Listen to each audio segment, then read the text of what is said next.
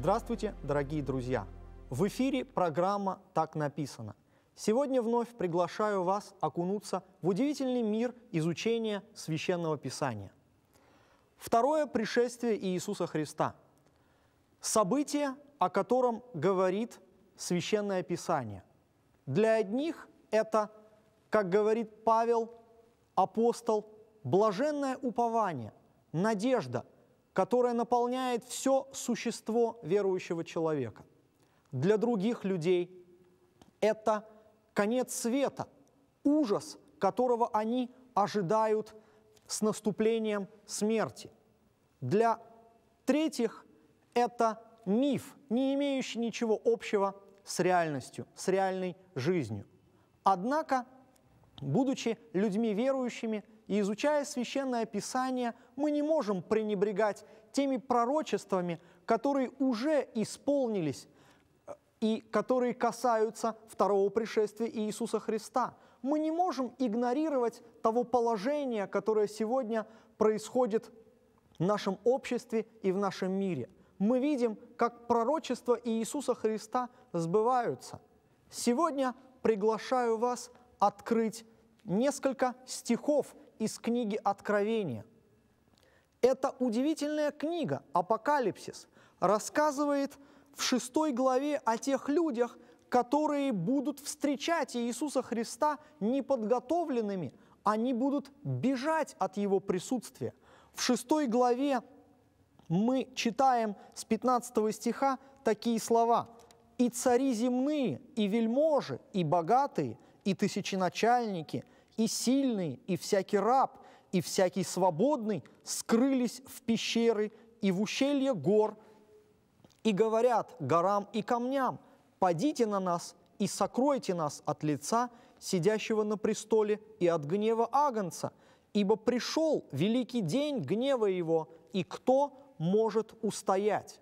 Как мы видим с вами, все эти категории людей, а Иоанн говорит обо всех категориях социальных, э, социальной лестницы.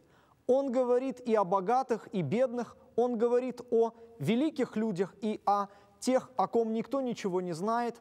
Он говорит о том, что все эти люди – они оказались неприготовленными ко второму пришествию Иисуса Христа. И поэтому они задают вопрос, убегая к горам и камням, кто может устоять, когда наступит этот великий день гнева Божьего? Вопрос в шестой главе остается без ответа. И после этого Иоанн описывает другую категорию людей – которые стоят перед престолом Божьим. У них есть определенное качество, которое помогло им остаться верными и непоколебимыми. Вся седьмая глава книги Откровения говорит о том, что это за люди. Вся седьмая глава книги Откровения отвечает на вопрос, кто может устоять в великий день гнева Божьего, когда Иисус Христос явится во всей славе Своей на облаках небесных. Седьмая глава повествует нам о тех людях, которые будут иметь печать Божью. В первом стихе читаем. «И после сего видел я четырех ангелов, стоящих на четырех углах земли, держащих четыре ветра земли, чтобы не дул ветер ни на землю, ни на море, ни на какое дерево, и видел я иного ангела, восходящего от востока солнца и имеющего печать Бога живого, и воскликнул он громким голосом к четырем ангелам, которым дано вредить, земле и морю, говоря, «Не делайте вреда ни земле, ни морю, ни деревам, доколе не положим печати на челах рабов Бога нашего». Совершенно очевидно, как говорит книга Откровения – что в последнее время устоять могут только те люди, которые будут иметь на своем челе, на своем лице, будут иметь печать Бога живого. Они будут запечатлены Богом. Это удивительная концепция, которая присутствует в Священном Писании. Запечатление печатью Божией. Однако сегодня существует очень много представлений в отношении того, что же есть печать Бога. Откровение говорит не только о печати Бога, оно говорит и о печати зверя, о печати Антихриста. И на этот счет тоже у богословов очень много различных представлений, в которых необходимо разбираться. Однако сегодня наша цель состоит в том, чтобы увидеть, как мы можем получить печать Божью, что эта печать представляет собой. Прежде всего, надо сказать о том, что печать – это то, что содержит в себе имя. Всякий раз, когда мы получаем тот или иной документ, скрепленный печатью, на этой печати находится имя той или иной организации, той или иной страны, того или иного лица, поскольку печать, она всегда содержит имя, а имя – это личность, имя – это характер. Поэтому прежде всего печать Божья будет ставиться на чело тех людей, которые подобны Богу по характеру. Священное Писание описывает множество различных историй, когда Господь ставит свою печать. Например, или кому Он дает свое имя. Например, в третьей главе книги Откровения, в 12 стихе мы читаем такие слова. «Побеждающего сделаю столпом в храме Бога моего, и он уже не выйдет вон, и напишу на нем имя Бога моего и имя града Бога моего, нового Иерусалима, нисходящего с неба от Бога моего, и имя мое новое». Господь обещает написать свое имя на челах тех людей, которые будут победителями в борьбе со злом. В 14 главе, в первом стихе, также книги Откровения, мы читаем – и взглянул я, говорит Иоанн, и вот Агнец стоит на горе Сионе, и с ним 144 тысячи, у которых имя Отца Его написано на челах. Иными словами, печать Божья – это Его имя, которое находится на челах Его рабов. А в 22 главе книги Откровения мы читаем в 4 стихе следующие слова – и узрят лицо его, и имя его будет на челах их. Это то самое наследие, которое получат избранные, которые, которое получат искупленные от земли. Таким образом, для того, чтобы иметь на себе печать Божью, необходимо соответствовать в своей жизни характеру Божьему. Мы должны получить этот характер – мы должны проявлять характер Божий для того, чтобы Его имя было у нас на челе. Однако, помимо того, что запечатление, печать Божья – это соответствие или подобие по характеру, это еще и обладание. Что такое обладание? Мы можем прочитать в книге «Исход» в 21 главе, в 6 стихе такие слова.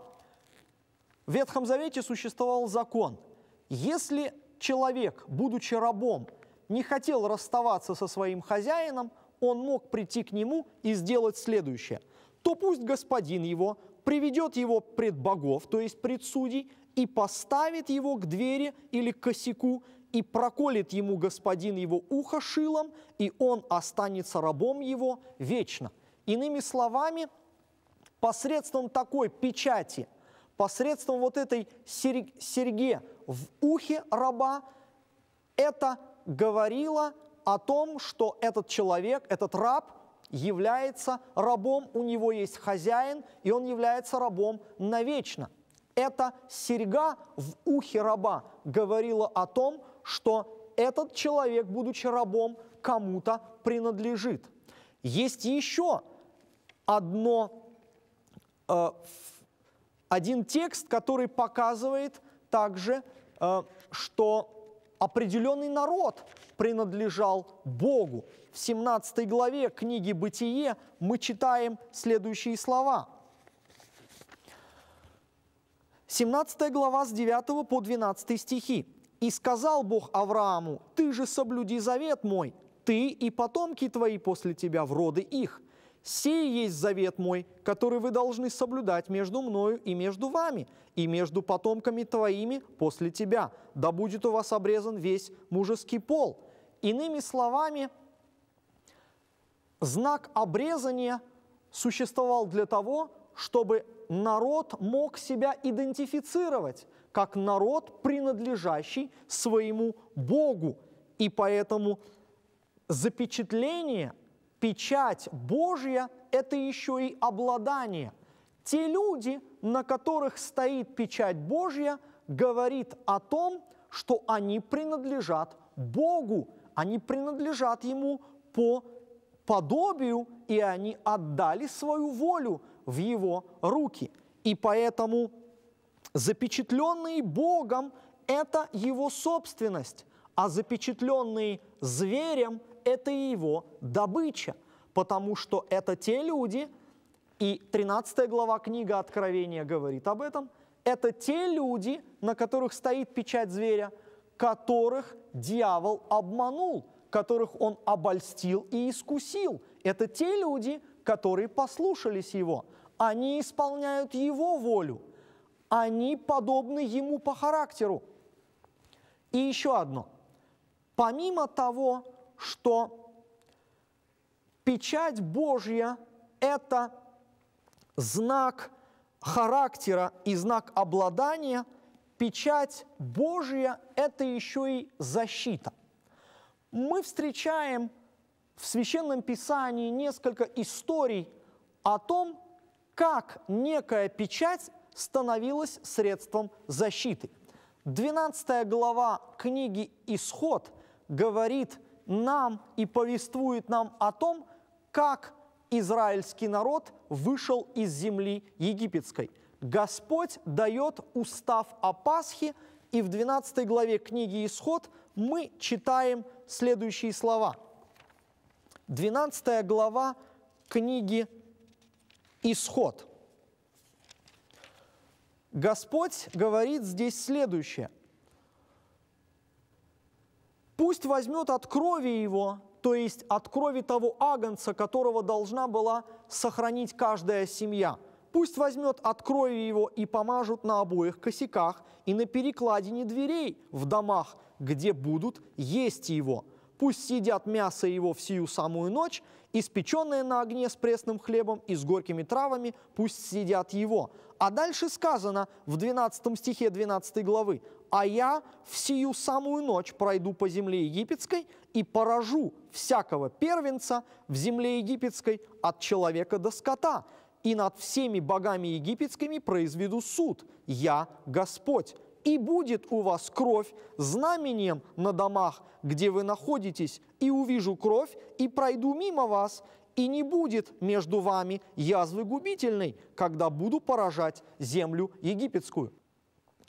Иными словами, этот знак, о котором говорит Священное Писание, был средством защиты. Когда Господь видел этот символ э, на перекладинах и на домах израильтян, он становился символом защиты, и Господь проходил мимо для того, чтобы не поразить тех людей, которые жили в этих домах.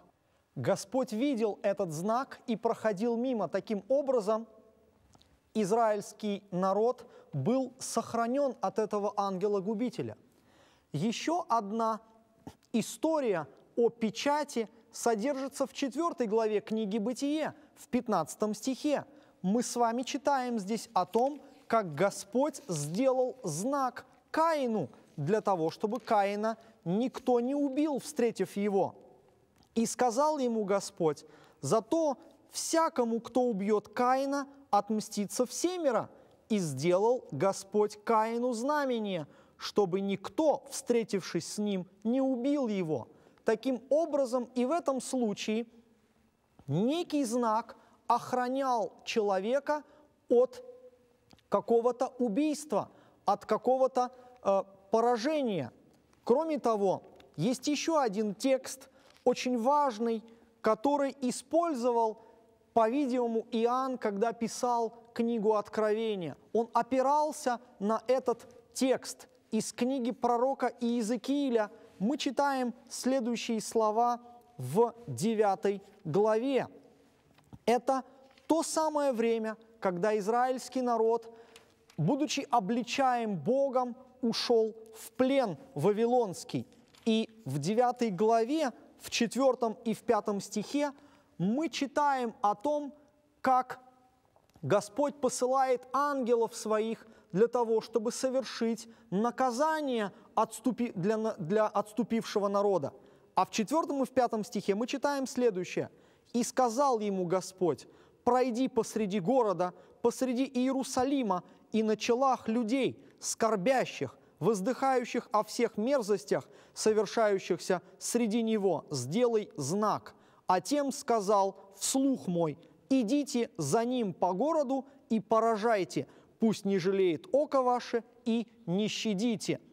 Таким образом, это повеление было исполнено. Все те люди, которые не имели знака защиты от Господа, они были поражены, они были убиты, потому что народ Божий отступил от своего Господа. Они изменили своему Богу, уподобившись сатане, уподобившись дьяволу. Таким образом, мы видим с вами, что печать Божья необходима была по трем причинам.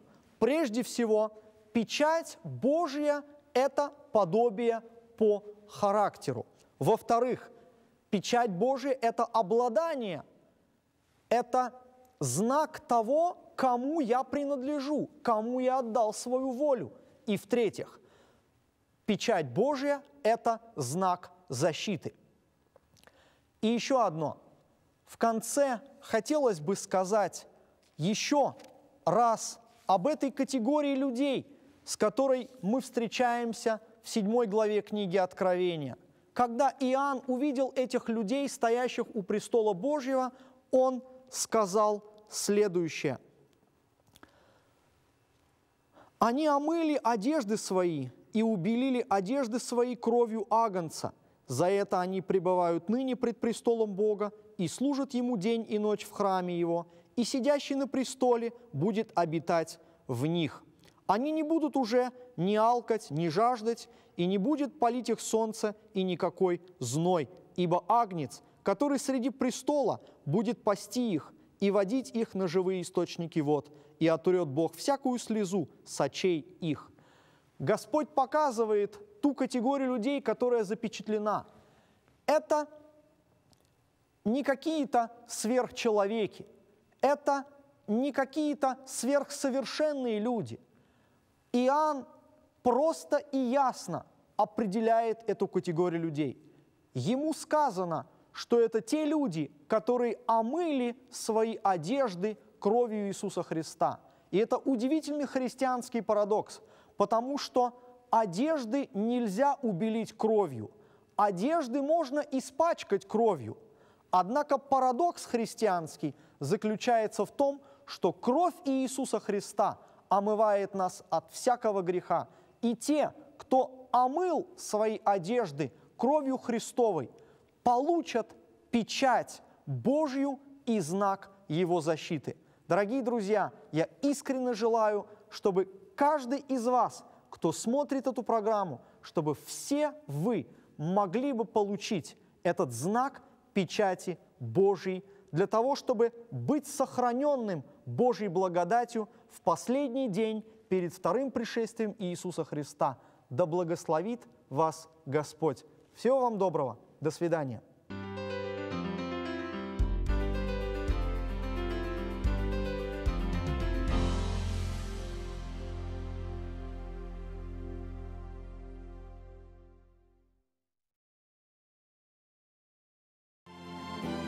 Утро – это начало дня.